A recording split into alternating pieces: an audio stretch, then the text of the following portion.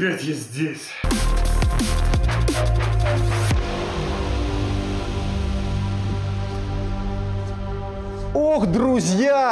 Что здесь происходит э, в этом подвальчике города Белгорода, компьютерной мастерской Happy PC?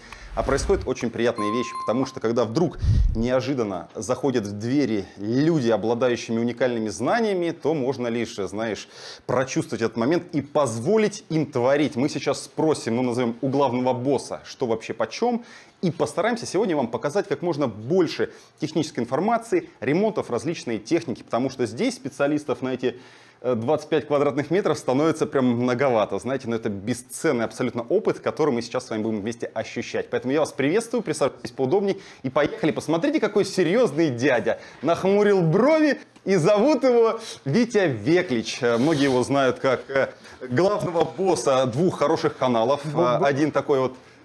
Привет, а, дружище, а, э, Кость, а ты иди сюда сразу к Никите. Вон там Никита, он его и крутил. Да.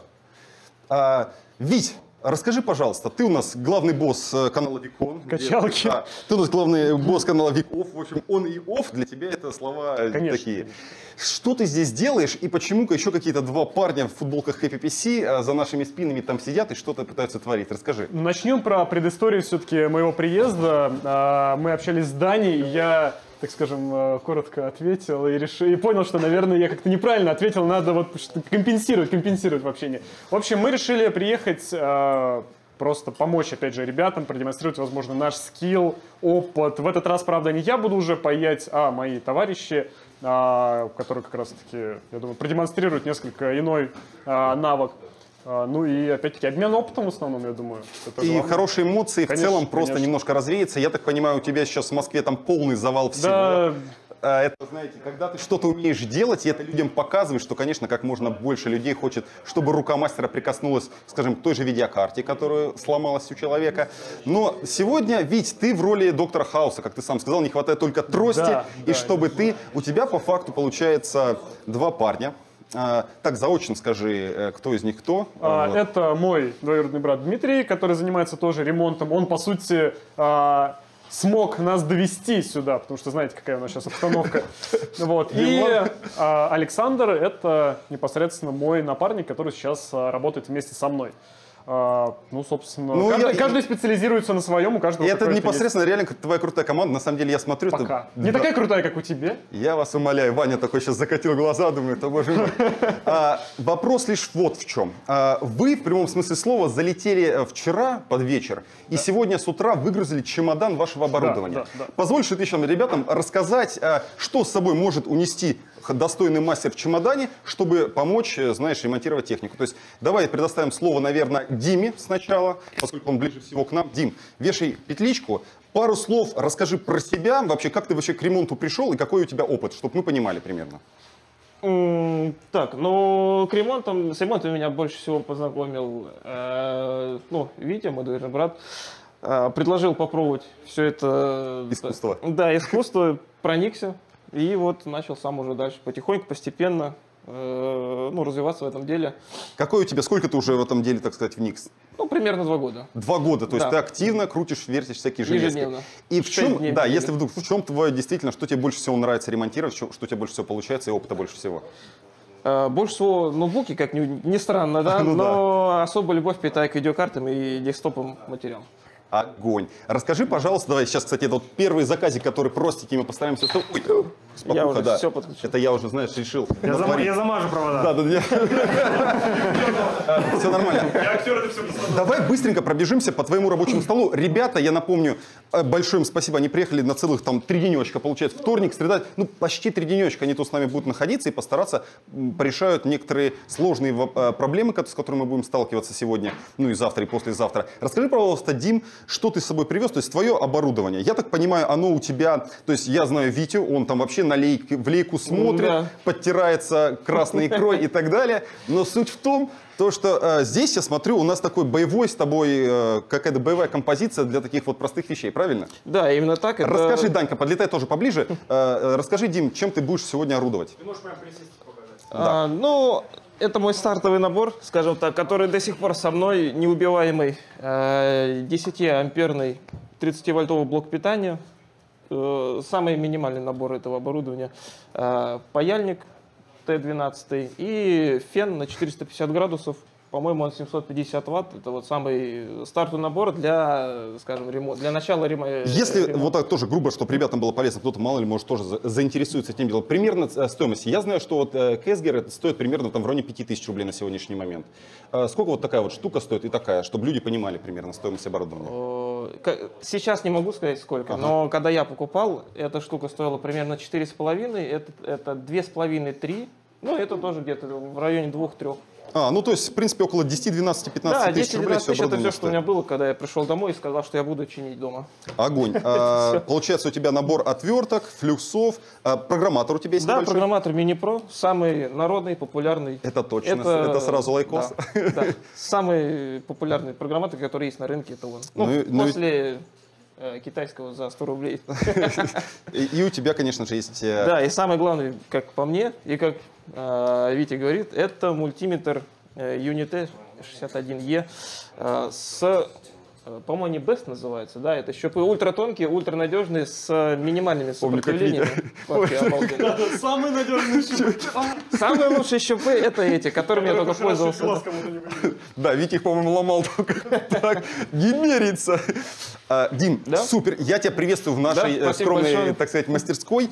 Передаем слово Александру, потому что Александру уже не привыкать э, быть под камерой. Витя его активно посвящает в это все дело. И на самом деле смотреть, когда, э, знаешь, два понимающих э, люди бок о бок работают, это одно удовольствие. Саш, пару слов про себя. Расскажи, как ты добрался до такой судьбы, что ты сейчас стоишь в футболке HPPC, а сзади смотрит на тебя Витя и И думаю, только бы ты не сказал ничего лишнего. Да, вообще-то я сижу, ну ладно, надо стать.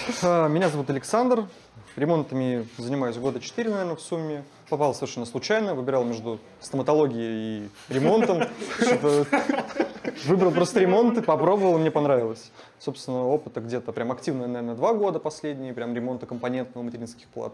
А опыта в целом там в ремонтной сфере еще два года наберется. Вот, ну, как-то так. Как судьба, вот мне больше всего интересно, свела вас, потому что вы сейчас сидите, по сути, дома у Вити и ремонтите целыми сутками 24 на 7 э, клиентские видеокарты, ноутбуки. Как вы вообще-то так вот, знаешь, совпали ваши э, флюиды друг к дружке? Ведь нужен был человек, и меня посоветовали. Э, э, э, Это тот самый случай, когда понадобился человек, и просто вот знакомый свел, сказал, у меня есть, например, отличный парень, который хорошо обучается. Я такой, все, давай телефон. Ну и на следующий день он, собственно, ко мне уже приехал. Обалдеть, круто. Расскажи, пожалуйста, немножко э, про свое оборудование, потому что я смотрю, у вас оно действительно отличается с Димой. Ну, это, наверное, набор уже middle идет. Middle. Начну, начну со своей вайфу, любимой, всем ее пиарю. Это станция Jape. Это клон, получается, этих, блядь, GPC. А Вот, э, клон очень классный и вообще, как мне кажется, ничем не отличается, в принципе, по самой работе. Есть пара мелких отличий, там нюансов э, в плане удобства работы, но в целом э, станции сопоставимые и работать так же приятно, как и оригинальный GPC. Э, Стоит э, сейчас, наверное, чуть подороже, на Алиэкспрессе порядка 16 тысяч рублей. Ну, то есть чуть ли так. не в три раза дешевле получается, да? Да, да. С оригинальными жалами лучше брать, тогда прям, ну, вообще все будет круто. Мультиметр это стандарт, это UT61E, несмотря на то, что есть уже обновленная версия, мне она дико не нравится, у нее тупая прозвонка, э, вот, и крутилка это неудобная, бесячая. Вот это намного лучше, вот, лучше брать старую версию, новое говно.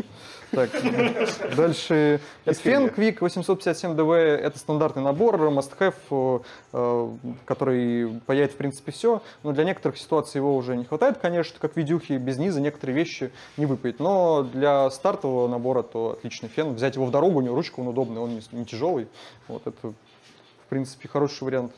Так, э, программатор это сводовский, это надо у Вити спросить, это я у него отобрал. Ну, Сколько он стоит? По, сути, сейчас это единственный прогер, но он стоит там что-то 14 тысяч. Э, Насчет того, стоит ли он, если честно, ну, я бы сказал, что, наверное, лучше мини-про взять, потому что он будет закрывать 99% всех э, прошивок и прочего. А свод я взял только потому, что на момент его выпуска он шил все флешки, которые мне были нужны, а мини-про уже не всегда справлялся. От себя отмечу, что он быстрее намного шьет, и не надо выбирать флешку, в отличие от мини-про из списка. Это прям классно. Ты ее вставил, нажал кнопку, и все. Но почему-то надо набирать э, напряжение самостоятельно, хотя в мини-про напряжение он сам как-то понимает, как выбирать. Короче, что-то придумали здесь, но не придумали там. Ну, такая ситуация. Друзья, я надеюсь, вы уже прочувствовали то, что ребята серьезные, ребята умеют, ребята знают. И э, не будем терять время, потому что действительно три денечка это не так много, пока мы туда-сюда покушаете пиццы и уже, знаете, уезжать пора. Поэтому а, мы с тобой, Дим, постараемся а, ребятам показать немножко по ремонту материнских плат, потому что на самом деле не так много ребят, вообще, знаешь, э, пытаются оживлять такие вещи на сегодняшний момент. А, Саш, с тобой у нас целое, я подготовил, даже долети сюда, Данька, на, одну секундочку. Я ребятам постарался подготовить две полочки, то есть у нас немножко ноутбучков будет, немножко материнских плат, немного видеокарт, всего по чуть-чуть. И какую-то ценную информацию, я более чем уверен, мы в любом случае сможем с вами сегодня увидеть. Поэтому, ребят, я вас еще раз приветствую. Э, Всем э, получить э, удовольствие. И, конечно, знаете, удовольствие от финального конечного положительного результата, это самое главное в этом деле тоже. Поэтому поехали. Значит, друзья, план у нас такой. Начинаем с Димы. У нас есть парочку таких, назовем это, разогревочных аппаратов, чтобы и ты, так сказать, вошел во вкус. Ну и мы тоже поняли, как, допустим, э, абсолютно другой мастер решает такие проблемы. У нас, посмотри, заказик 3161. Уже, на самом деле, по-моему, второй или третий день он лежит. Вот только сейчас ручки до него э, добрались. И э, самое интересное, что это сборка делал, э, по сути, наш Никита. То есть это наша сборка, абсолютно свежая основа, то есть свежая материнская плата. И это очень важный момент, потому что, понятное дело, там одно дело работать со старыми, где уже все известно, другое дело со свежими материнскими платами, где у тебя, по сути, бывает, что даже схемы нету, ничего. Проблема простая. Человек, с его слов, э, решил там себе что-то подразогнать, прошивал BIOS, и аппарат сейчас ну, находится, так сказать, в цикличной перезагрузке, и понятное дело, что подозрение, скорее всего, именно на него. Проблема заключается небольшая в том, то, что здесь э, у нас двойной BIOS, main и backup. Соответственно, вот нам нужно понять, как на таких материнских платах современных это все дело происходит. Э, Вручаю тебе, э, Дим, вот этот агрегат, э, диагностируем и пробуем его отремонтировать. Продемонстрирую, как он себя ведет на текущий момент, если Да, начнем, наверное, с включения аппарата. А я как раз немножечко и музычку тут приглушу. Данька, подлетай сюда тоже, да, тебе, наверное, с этой стороны будет удобней.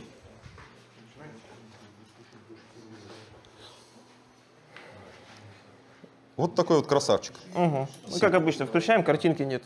Все. Никакой нету. Если, кстати, вот, Дим, я, я, кстати, друзья, сразу скажу, Дима парень относительно скромный, поэтому, если он будет не сильно многословен, не переживайте вы за этот момент. Не Мы- обессудьте. Да, не обессудьте. А, скажи, пожалуйста, вот если ты любишь системнички, да, понял немножко компы, а, принцип вот диагностики, если, допустим, неизвестно было, что у нас это, допустим, уже биос сшился, либо еще что-то, и какие-то есть, вот, допустим, ну, не врубается комп, что ты первым делом делаешь в таких случаях? Полная разборка и прозвонка сначала блока питания на предметы, ну вообще полная диагностика на предмет коротких замыканий. Это первое, что нужно сделать, поскольку оборудование дорогое, особенно процессоры. А в современных матерях, по, по крайней мере, я с этим часто сталкивался, а- особенно 1151 сокен, чаще всего пробивает именно фаза питания процессора, и процессор улетает. Вот, поэтому в таких ситуациях, да, первым делом, ну, по крайней мере, я всегда разбираю полностью и прозваниваю на все цепи питания на предмет коротких замыканий. Если этого нет, тогда уже можно ну, пробовать подключать э, сначала одно, потом другое. То есть методом исключения уже можно начинать э, дальнейшую диагностику. Супер. Вот. Ну да, тогда мы... Да, ну то сейчас э, наш комп действительно в циклическом перезапуске находится, уже два раза перезагрузился, так что я думаю, здесь проблема в биосе действительно. Что-то пошло не так, как обычно при обновлении. Типичная ситуация. Да, будем пробовать э, прошивать биос с сайта производителя. Давай, погнали. Ох, нравится мне это, знаешь, атмосфера компьютерной мастерской, потому что везде что-то интересное происходит. Вот подлетай сюда, смотри, сборщик Никита. Это куда отправляется Никитос? В Тюмень. В Тюмень! Замечательный, кстати, город Тюмень. Э, Посмотрите, парень попросил, чтобы вот на память от всей команды парень. осталось. Ой, девушка? Семейная пара. Семейная пара попросила, чтобы на память от всей команды осталось. Очень прикольно. Вот Никита сборочку собрал, мы немножко намулякали, и получается вот такая, значит, индивидуальный момент. Никитос настраивает, и он отправляется в... Я всегда Тюмень называл центром Сибири, пусть так оно и будет. В Сибирь, там, где она будет греть своих владельцев. Ну, а тем временем э, Дима э, приходит э, к разборке самого аппарата. А давай, С принципе, этим я тебе, да, я тебе буду, так сказать, это по этим мальчикам. э, мы с Витей будем это, по этим, поддаваны. Вот еще что-то. Лучше так, давай, давай. Э, Смотри, Вить, ты сказал то, что за кадром э, с платами там гигабайт, когда двойной биос. Есть несколько методов, называется попробовать э, качнуть Ну, не аппарат. просто же так он двойной. Безусловно. В чем суть вообще? Почему две флешки делаются? Насколько это удачное решение вот у производителей?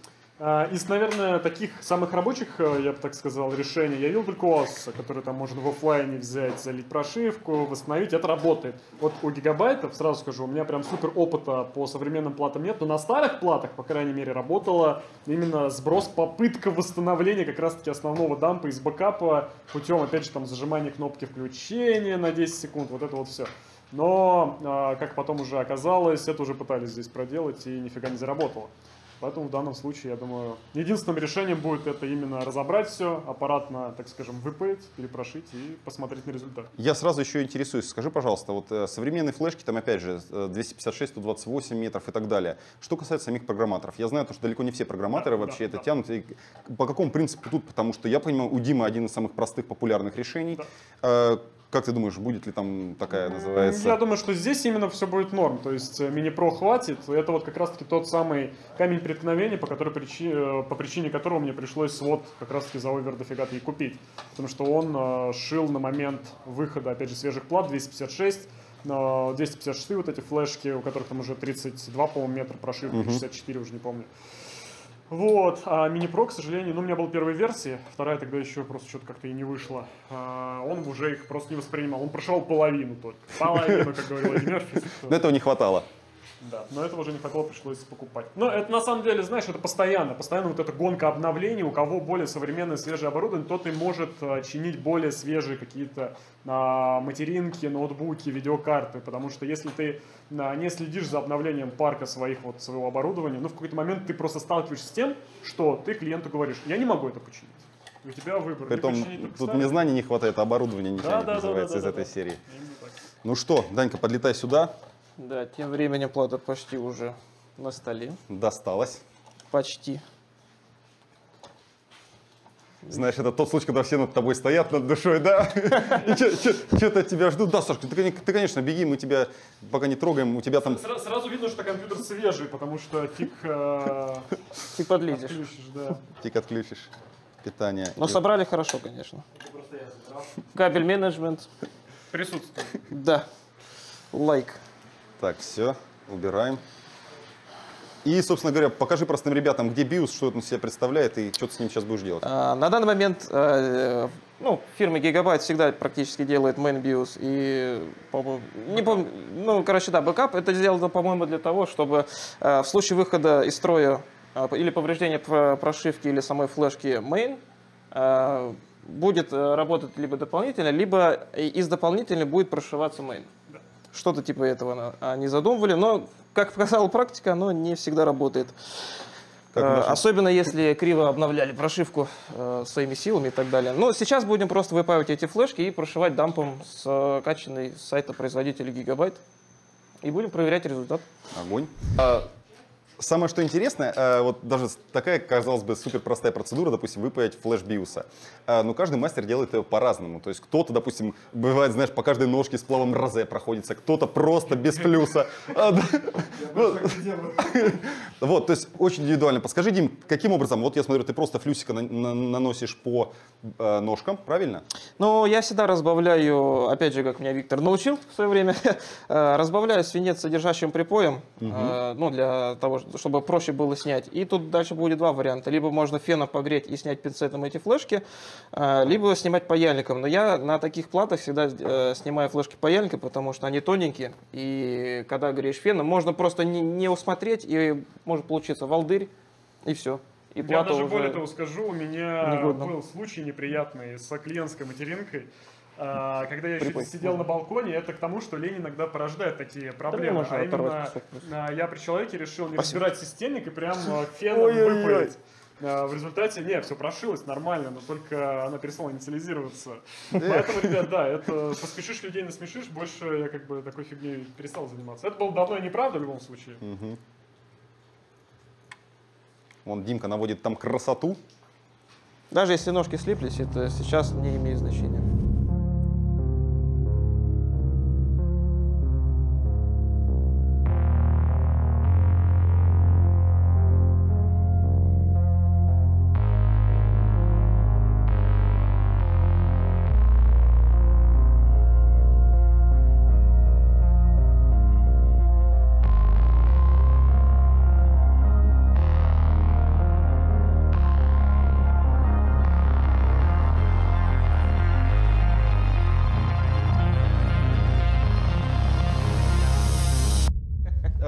Так, Да. смотрите, что у нас происходит. Вот эта мини-прошка достаточно медленно, но верно, получается, пишет нашу микросхему 128, правильно?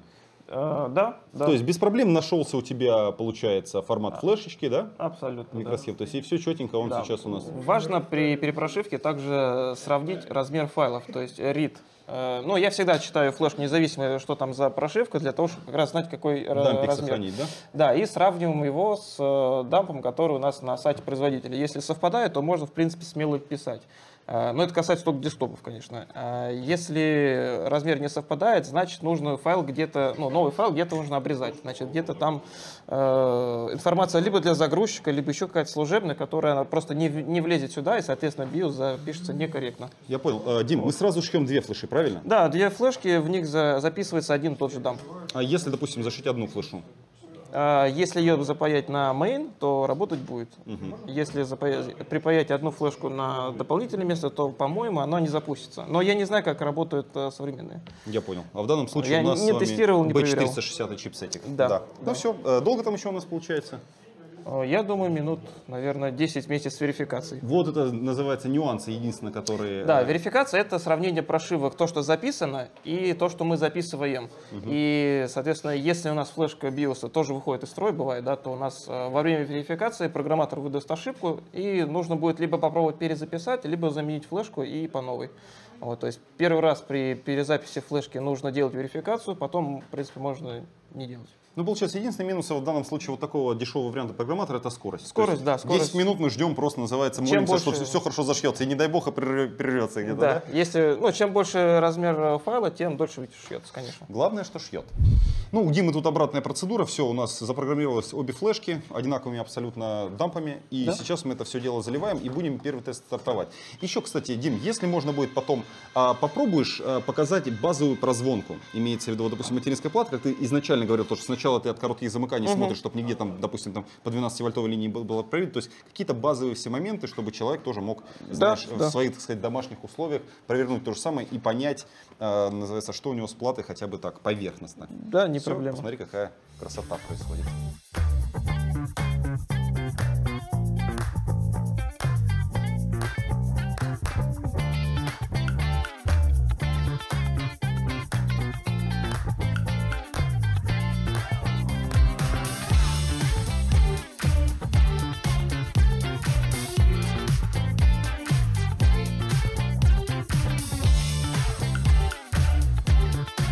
Ох, друзья, друзья, друзья, у нас есть некое разочарование. При том, что действительно мы шли по следам клиента, как он сказал, потух во время прошивки биоса. Биос перепрошили, это и никакого изображения не дало. Дим, вот теперь очень важно понять, поскольку мы с тобой, ну, назовем так, слегка поспешили. э, С э, выводами. Да, э, начали сразу устранять проблему, которая была как бы очевидна, вот, но результата никакого не получили. Можешь показать для простых ребят, как делать вот диагностику, как прозвонку, как прозвонить плату, как понять, что проц в коротком, допустим, какие-то вот... э, да, как вот дальше что Э, творить Я думаю, эти все э, движения я покажу после. Да, сначала хорошо. э, расскажу все-таки, в чем была причина. Основная Давай. не работы данной платы.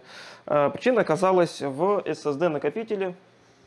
Э, по какой-то причине он, видимо, ну, как сказать, Ну, грубо говоря, него Не- система не запускалась, ребутилась постоянно, да? Да, Никаких да, то есть, э, чтобы более точно узнать, да, это нужно будет вызванивать все контакты, какие сигналы приходят на него, какие с него не выходят, может быть, ресет э, с э, контроллера SSD не выходит, да, и так далее. То есть э, косяк 100% в нем, потому что без него при том, что практически, работает. новая, практически новая сборка, SSD-шка уже погибла. Но, к сожалению, качество комплектующих новых оставляет желать лучшего. Чудеса на самом Такое деле. Э, то есть сейчас у нас, если мы условим SSD, кстати, если второе, другое оставляем, все нормально? А, все отлично. Давай продемонстрируем то, что у нас картинка есть наглядно. Э, Без SSD?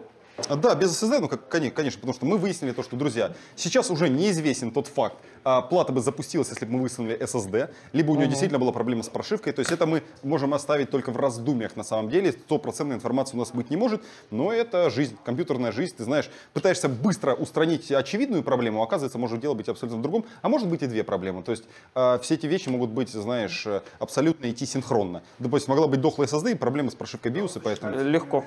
Абсолютно. Мы ничему не навредили, здесь просто перепрошить самый последний BIOS. В данном случае... э, В любом всё должно случае, да, диагностика выполняется в идеальных условиях в заводских настройках, в заводских комплектующих. И тогда, это вот, знаете, то, к чему шли, у нас есть картинка, это самое главное. Да. Вот. Ну, получается, все вот такой, знаешь, у нас разогревочный с тобой э, момент получился. И вот, Дим, последнее, вот уделить немножко времени, показать э, вот с мультиметром, как сделать базовую диагностику, то есть понять вот, ну, ход мысли мастера, который берет, есть короткая, нет короткая, А, потому ну, что в принципе, это, это это самое такое страшное непонятное для людей, кто куда-то тыкает, знаешь, когда простой человек смотрит на это, думает, господи, куда они щупы тыкают, и что они там должны видеть и показывать. Для простых людей это абсолютно вещь непонятна, но у мастера в голове свои алгоритмы, которые четко э, проявляют. Покажу, как э, делать такую первоначально легкую, скажем, диагностику базовую материнских плат. Э, и, как и все, все начинается с визуального осмотра. И первое, на что стоит обратить внимание, это на, ну, вообще полностью сохранность платы, на углы, потому что бывает часто, что платы роняют э, ребром, углом, здесь происходит замятие, дорожки разрываются внутри платы, и все, и плата уже работать, скорее всего, не будет. Второе, это на вот эту зону, куда вставляется, ну, зона PCI, только вот, вот этот край. А, Бывает очень часто, что когда вставляет э, устройство типа видеокарты, начинает пихать со всей дури, и вот эти дорожки здесь обрывают. То есть, как правило, здесь звук э, и еще какие-то второстепенные устройства, но, тем не менее, бывает обрыв дорожек, и все. Это что касается визуального осмотра. Как обещал, покажу э, базовый набор, так сказать, диагностики десктопных материнских плат. Э, Начинаем с того, что ищем распиновку основной э, колодки 24-пиновой. И здесь нужно быть уже внимательным. Э, Нас интересуют э, цветные э, элементы. Все, что черное, это земля. То есть она должна звониться в ноль на мультиметре. Сейчас я вам Это, по сути, основное, так сказать, просто базовое, ты говоришь, провод, правильно, который присутствует по всей плате. Так, это не то. Не попал. Да что ж такое-то? Сейчас, подожди, я что-то запоролся. Так, А у тебя в прозвонке? не, не прозвонки, это именно режим сопротивления. Ох уж эти телефончики. Да, да, да, да. Так, собственно, вот 0 Ом, это значит, об- мы попали на общий провод на Землю. А, такого сопротивления не должно быть на 3-вольтовой, на 5-вольтовой линии э, и 12-вольтовой.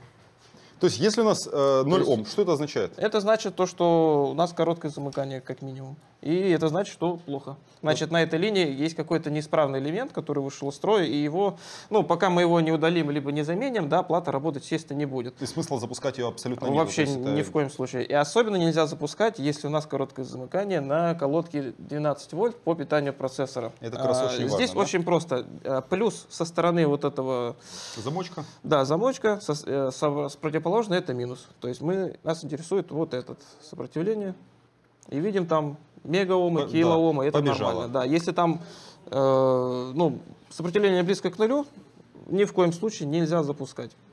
Вот. Но это еще не все. Также в процесс э, базовой диагностики в- э, можно включить еще, ну, как, по крайней мере, это, ну, я так делаю, Э, в этой точке. Это Это- линейный стабилизатор. Да. А Здесь тоже не должно быть э, ну, нулевого сопротивления, потому что э, в 95% случаев, если здесь ноль, то у нас Хабовая часть. хаб Мгм. уже труп, скорее всего, ну, 95% это уже труп. А также диагностику хаба можно произвести по дата-линиям э, USB. Они не должны быть пробиты. Ставим э, режим про, прозвонки диодов, красный щуп на землю, это важно. Черным мы замеряем центральные пины линии USB. И у нас должно быть примерно одинаковое, это называется падение, сопротивления, э, падение напряжения на, э, ну, на каждой линии. И то есть, если оно везде одинаковое, то все в норме. Да. Не, И- вот, это сейчас USB пошло. Первое это, Мгм. Это э, PC пополам. да. Мгм. Ну и по То такой схеме мы все USB-порты проверяем. Если э, по одному будет э, пробитие, то тут уже шансы 50 на 50. Либо хаб пробит, умер, умер, либо просто не будет работать данная USB. Ох, друзья, ну что, мы, честно сказать, вот этот, знаешь, первый ролик знакомства, по-моему, получился такой обширный. Вы ребят увидели, я думаю, для первого такого ощущения вполне достаточно. Дима нам немножко рассказал про базовую диагностику компов, и действительно один аппаратик ожил после перепрошивки и найденного неисправного SSD. Опять же, напишите в комментариях, как вы думаете, в чем изначально была причина, знаешь, со стороны всегда виднее. И, друзья, тем не менее, Дим, вообще, как тебе а, а, атмосфера по центру мастерской, тут сидеть, крутить, когда вокруг какие-то люди бегают? Очень много ажиотажа, и в какой-то момент даже не хочется работать, а хочется поучаствовать в этом всем ажиотаже, в движухе. Э, Ну, собственно говоря, друзья, на этом, Дим, все, спасибо. Мы, э, да, кстати, компик, да, включается, работает обязательно. Уже полностью собран, Димка его подсобрал. Красотища. Проверяем. Тем не менее, следующие у нас, безусловно, друзья, пойдут э, истории уже более, надеюсь, такого увлекательного, глубокого характера. Александр тут э, третью мать уже положил, э, пытается тестовый э, сделать, но я думаю, все хорошо пойдет. Он уже потихонечку начинает смотреть видюхи, и мы обязательно про это вам сегодня расскажем. Ну и напоследок, потому что мы начали с кого? Знаете, вот с этого брутального мужчины с такой с легкой щетинкой в черной футболке с надписью очень удивительной. И пойдемте покажем, чем э, Витя, знаешь, он э, напоследок. Все, я тебе сейчас попробуем еще сейчас с тобой что-то крутить. Да, Ну, последнее. Пойдемте. Супер важное дело. Да, супер важное дело, что делает Витя. Витя, и ты, как супер важное дело само по себе, тоже пойдем, покажешь. Что ты делаешь, а я возьму даже это. И на этой мы ноте э, закончим. На фоне атмосферы, посмотри. Вон. Агрегатики, иди сюда.